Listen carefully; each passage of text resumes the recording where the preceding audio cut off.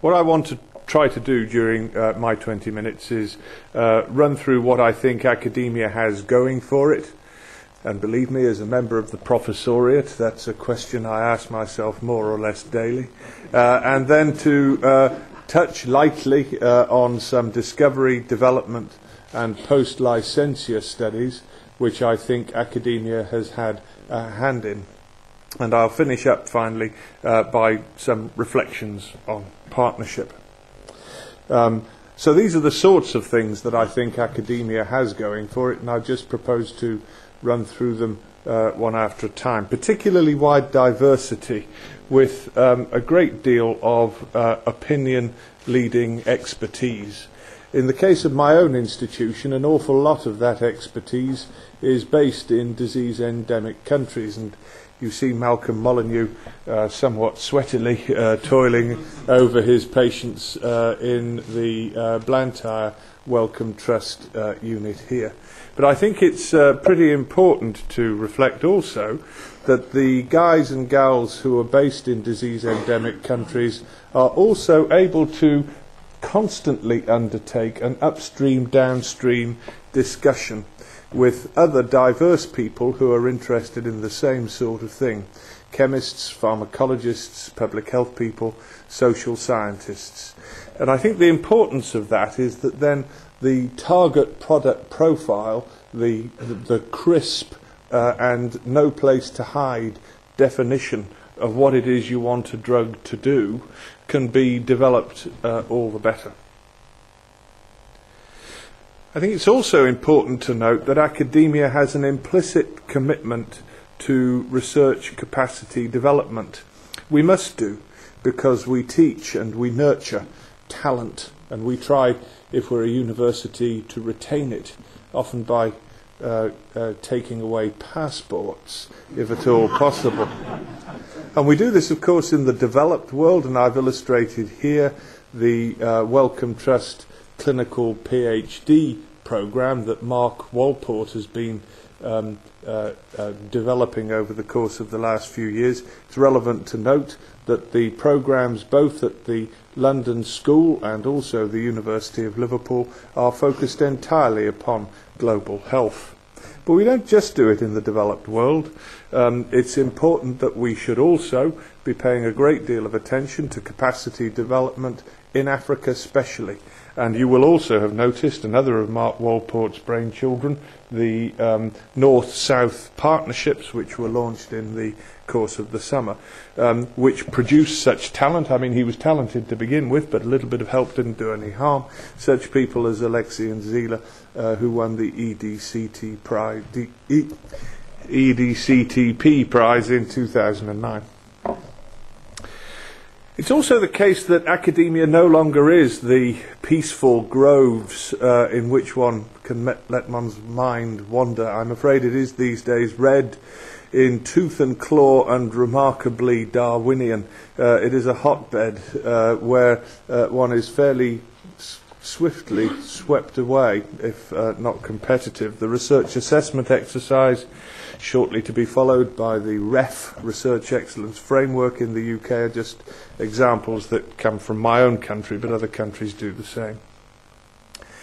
We have drivers as well, which are different from, and I think complementary to, the pharmaceutical industry. We are driven by the need for excellent publications, by grant income. And the result of these drivers is that we're able to follow an idea for really quite long periods of time in multidisciplinary teams, even if the idea moves from malaria to tuberculosis and back again. And uh, the next example, in fact, is a good case in point. The enzyme that we're looking at here is relevant to TB too, so uh, we're actually exploring two paths. So, with that sort of uh, introductory spiel, I'll move on to uh, uh, drug discovery and one particular drug discovery uh, project which has its roots in genome sequencing.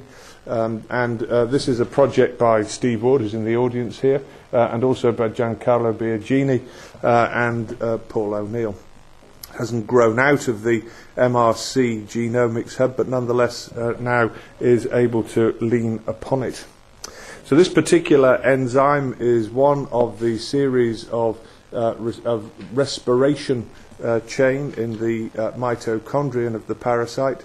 It's shown now to be an essential parasite enzyme and very promisingly is absent from the human host. So, as a target, it certainly has promise.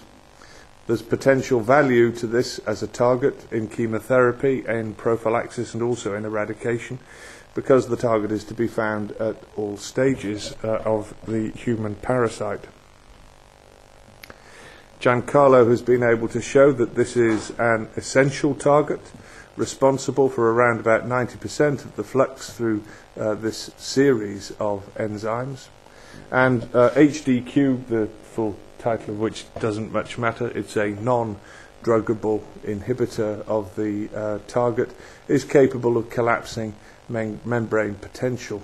Now, all of these things are fine and dandy, but perhaps even better than this, the enzyme is amenable to high throughput screening, and you see Steve Ward's uh, latest toy uh, here, his uh, platform at LSTM. Recombinant enzyme has been made. There's a simple uh, endpoint assay available for monitoring, um, and hits are currently being studied by the team. A different um, approach to drug discovery was one of intelligent redesign um, of a molecule. And it's pretty much the same team as before, but joined now by Kevin Park, who is the director of our Centre for Drug Safety Science. And it's a good example, this, of a project which has taken a very long time. Uh, the team has worked on this uh, on and off, pretty well off uh, uh lately, but uh, and, uh, until that, rather more on, for around about 20 years, I think it would be true to say. Indeed, I myself did my thesis on amodiaquin some years ago, and we see amodiaquin here, a chloroquine-like molecule, but with a phenolic moiety there, which gives rise to difficulty. It's capable of spontaneously forming a quinone imine, a very nasty reactive species that can, uh, if you will, haptenate protein and uh, thereby cause idiosyncratic toxicity, particularly in the liver, but also in the bone marrow. Over 200 analogues of the amodiaquin molecule have been made uh, to attempt to avoid this particular property, and by moving the hydroxyl moiety here, um, uh, a drug which we're calling isoquin, or at least a, an investigational product, has been made. Cheap and uh, easy to synthesize, highly effective, and doesn't form toxic metabolites. And I'm pleased to say that we were able to get it as far as phase one.